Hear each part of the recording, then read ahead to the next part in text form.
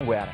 Bom, eu também vou acelerando, vou indo nessa. Muito obrigado pela companhia. Só lembrando, hein? Amanhã tem o primeiro jogo da final do Campeonato Goiano. Não vai esquecer, Atlético e Goiás, às quatro da tarde, aqui na tela da TV Anguera. Um grande abraço.